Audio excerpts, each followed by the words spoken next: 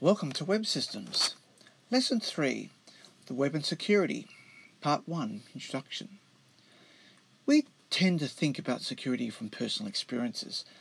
For example, malware like viruses, trojans, worms, fraud. Or we worry about our access to systems like our user IDs, passwords, and access to resources like UTS Online or our email or even our bank details. What about what happens if our laptops or devices are stolen?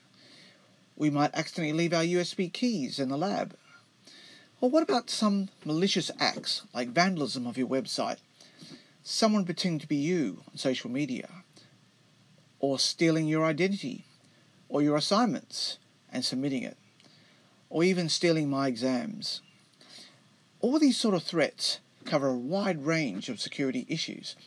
We have multiple subjects and majors at UTS which cover this area, such as the Digital Forensics major in the Bachelor of Forensic Science, the Internetworking and Cybersecurity major, or submajor, in the Bachelor of Science in IT, and the Cybersecurity and Privacy major in the Bachelor of Computer Science. You can categorize the security issues into three main areas. We call it CIA. C for confidentiality, I for integrity, and A for availability. I'll talk about those in the next slide. Let's look at the first concept, confidentiality. This is where you need to keep information accessible only to authorized users. And that is, we need to check can it be seen by whom, when, where, and how? For example, can't be seen. Let's make sure we encrypt the information so we cannot see it unless we have the decryption ability. Let's check the authentication. Make sure people log in, find out who they are, what can they access. Let's check out when they can access it. Can it be online, at UTS, offline, from home? About where? What sort of access controls do we have? Do we say that only staff can access your public website? And what about other information like how's it transmitted? HTTP, HTTPS? Is it transmitted by email?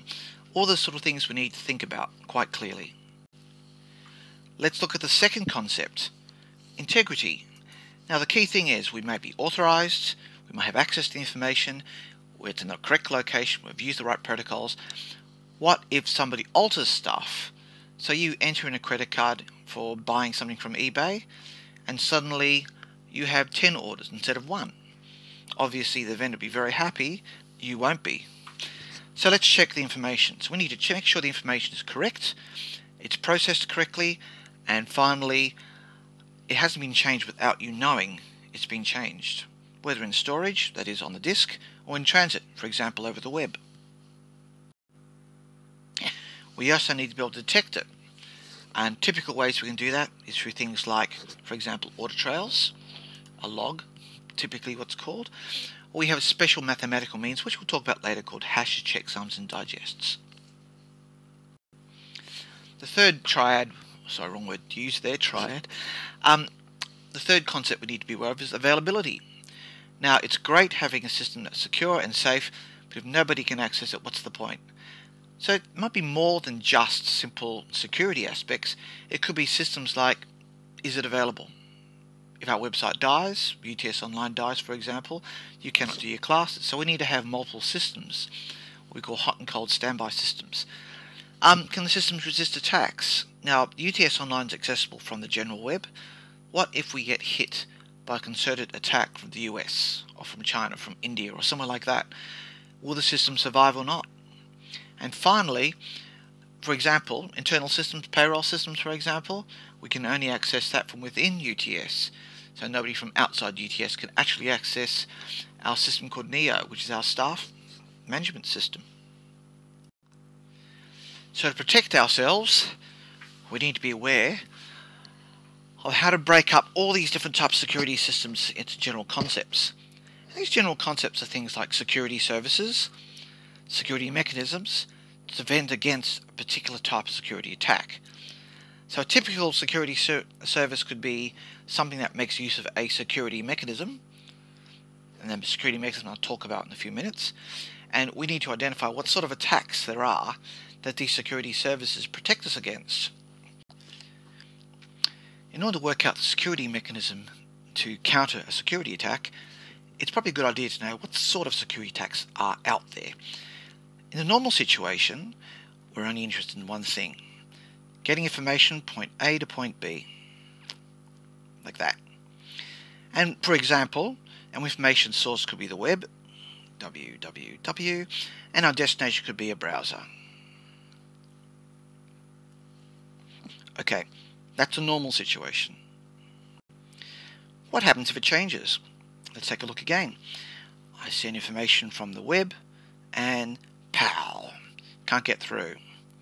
I am not happy. That's an interruption, not good news. The question asked is, what type of security attack is it?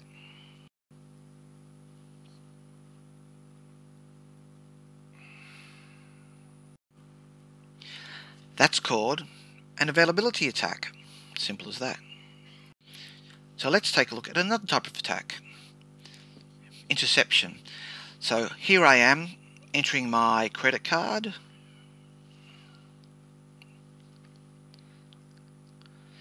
And I send it to my website. And somebody makes a copy. And I suddenly find my credit card is out of money. I'll put a big negative sign in front of that.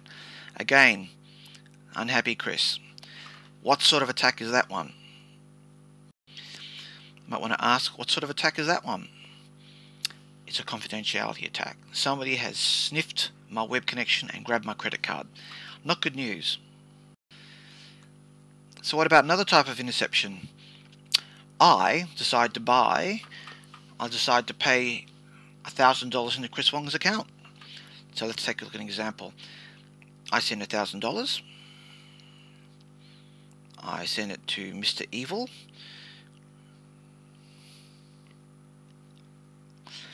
Who changes it to $10,000. I'm not saying I'm evil. It's another type of attack. You're suddenly $9,000 out of money. Not a good attack to have.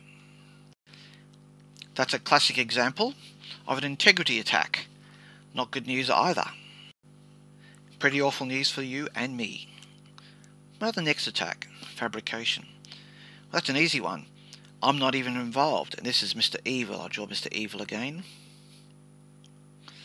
He decides to make a fake credit card for $10,000 into this account, but I'm not involved at all.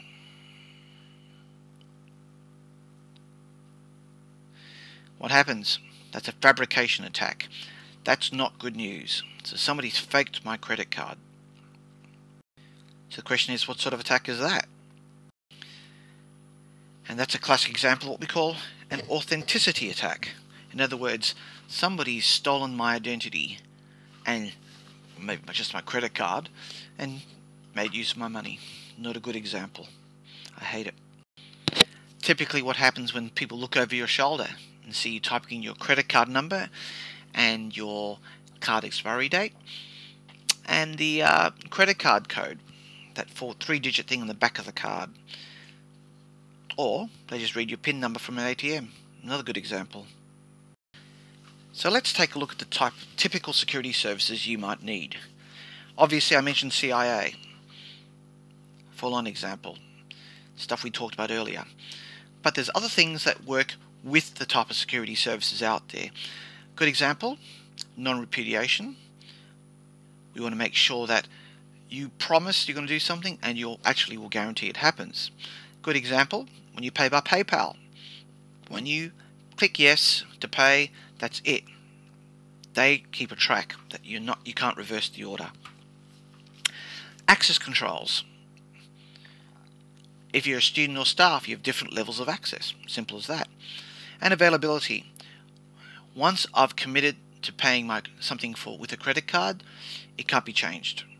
So I've got to make sure that somehow in somebody's system the credit card value is not changed. Again, a difficult thing to do, and we'll look at the type of services that solve these problems in the next few slides.